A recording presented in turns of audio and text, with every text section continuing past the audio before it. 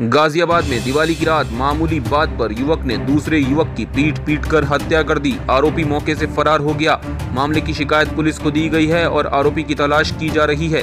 दिवाली पर हुई इस वारदात के बाद मृतक के घर और इलाके में मातम पसरा हुआ है। मामला गाजियाबाद में कविनगर थाना क्षेत्र के मेहरोली इलाके का है, जहाँ पर रवि नाम के युवक का शव रेलवे ट्रैक पर मिला है। बताया जा रहा है कि एक चश्मदीद ने रवि की पिटाई होते हुए देखी थी। आरोप है कि इलाके के रहने वाले एक युवक ने रवि की पिटाई की थी। इसके बाद आरोपी रवि को वहाँ लहूलुहान हालत में छोड़कर फरार हो गया और रवि रेलवे ट्रैक पर तड़पता रहा। बताया जा रहा है कि इलाके में पटाखा जलाने को लेकर मामूली बात पर रवि और उसके दोस्त में विवाद हो गया था। इसके बाद ये विवाद मारपीट में बदल गया था और फिर जमकर मारपीट हुई, जिसमें रवि लहूलुहान हो गया था।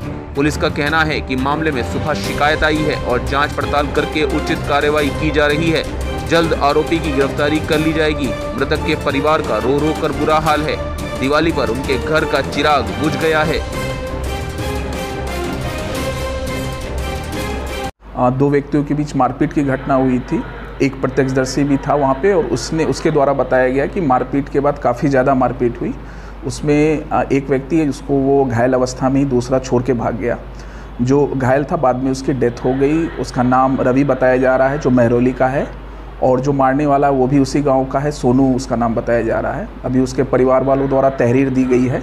जल्दी मुकदमा पंजीकृत कर जो भी इसमें दोषी व्यक्ति है उसको गिरफ़्तार कर जल्दी कार्रवाई की कोई गिरफ्तारी भी हुई है क्या सर इसमें भी जैसे नाम दर्ज बता रहे हैं कि गाँव के हैं पड़ोसी हैं?